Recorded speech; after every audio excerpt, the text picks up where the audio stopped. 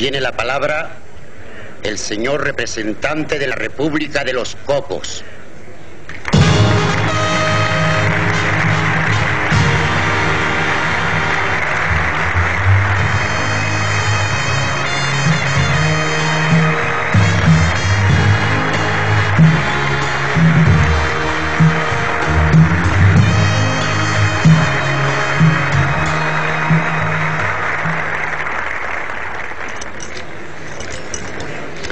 Señor primer ministro, señor ministro de Relaciones Exteriores, señor secretario general de la Asamblea, señores representantes, estimados colegas y amigos.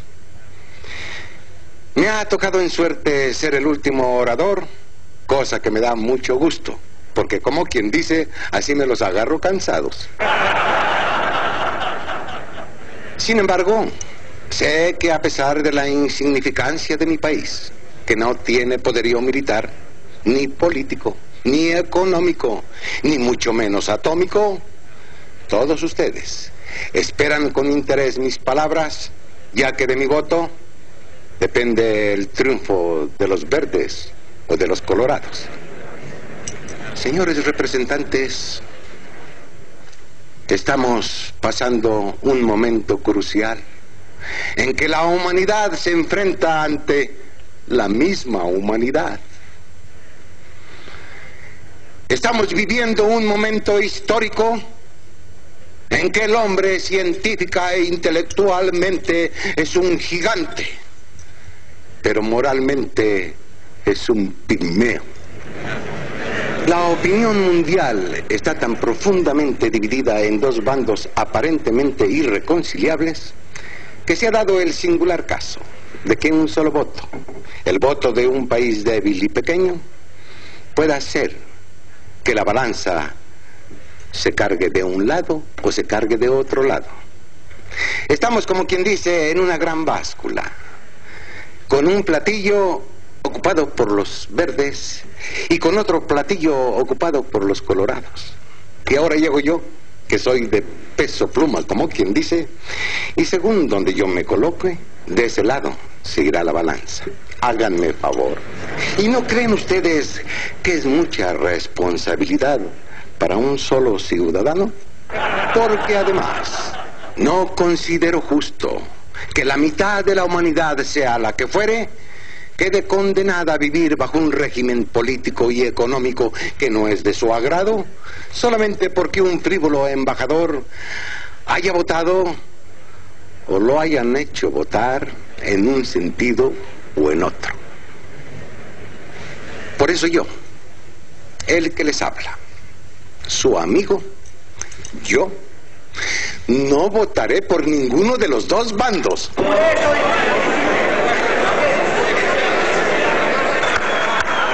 señores! ¡Silencio, por favor!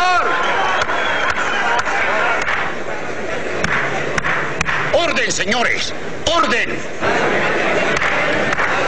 ¡Orden! Y yo no votaré por ninguno de los dos bandos debido a tres razones. Primero, porque repito que no sería justo que el solo voto de un representante que a lo mejor está enfermo del hígado decidiera los destinos de cien naciones. Segunda, porque estoy convencido de que los procedimientos, repito, recalco, los procedimientos de los colorados son desastrosos.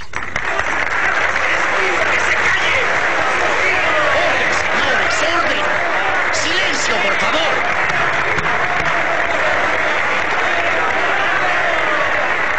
Y tercera, porque estoy convencido de que los procedimientos de los verdes tampoco son de lo más bondadoso que digamos. ¡Orden, señores! ¡Orden! Y si no se callan de plano, yo ya no sigo y se van a quedar con la tentación de saber lo que tenía que decirles. Señor secretario, échele al martillo, pues ya hacerme un relajo aquí. Que... ¡Silencio, por favor! Insisto que hablo de procedimientos y no de ideas ni de doctrinas. Para mí, todas las ideas son respetables, aunque sean ideitas o ideotas, y aunque no esté de acuerdo con ellas. Lo que piensa ese señor, o ese otro señor, o ese señor, o ese de allá de bigotitos que no piensa nada porque ya se nos durmió, eso no impide que todos nosotros seamos muy buenos amigos. Todos creemos que nuestra manera de ser, nuestra manera de vivir, nuestra manera de pensar y hasta nuestro modito de andar son los mejores. Y a chaleco tratamos de imponérselo a los demás. Y si no los aceptan, decimos que son unos tales por cuales y el ratito andamos a la greña. ¿Ustedes creen que eso está bien? Tan fácil que sería la existencia si tan solo respetásemos el modo de vivir de cada quien. Hace 100 años ya lo dijo una de las figuras más humildes, pero más grandes de nuestro continente.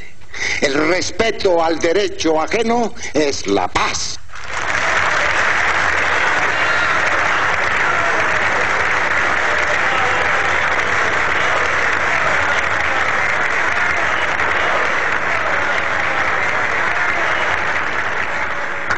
Así me gusta. No que me aplaudan pero sí que reconozcan la sinceridad de mis palabras. Yo estoy de acuerdo con todo lo que dijo el señor representante de Salchichonia, con humildad. Con humildad de albañiles no agremiados, debemos de luchar por derribar la barda que nos separa, la barda de la incomprensión, la barda de la mutua desconfianza, la barda del odio. El día que lo logremos, podremos decir que nos volamos la barda. Pero no la barda de las ideas, eso no, nunca. El día que pensemos igual y actuemos igual, dejaremos de ser hombres para convertirnos en máquinas, en autómatas. Ese es el grave error de los colorados. El querer imponer por la fuerza sus ideas y su sistema político y económico.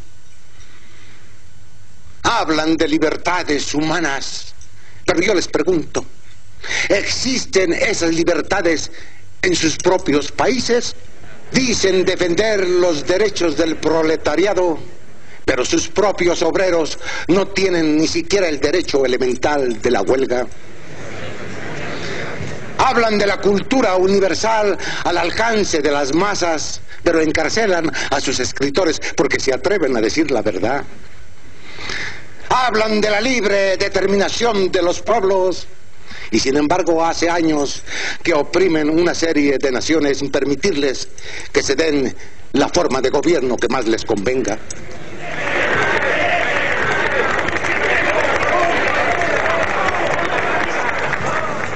¿Cómo podemos votar por un sistema que habla de dignidad y acto seguido atropella lo más sagrado de la dignidad humana, que es la libertad de conciencia, eliminando o pretendiendo eliminar a Dios por decreto?